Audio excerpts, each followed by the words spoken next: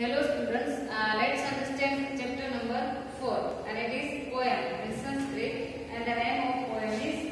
Ani Sudhira that means common Sudhir and students we all know that a sweetness of Sanskrit poetry will make our heart happy and sing along uh, melodiously and for this reason here the modern poetry uh, will described by uh, the Sanskrit poet Janardhan Hesh.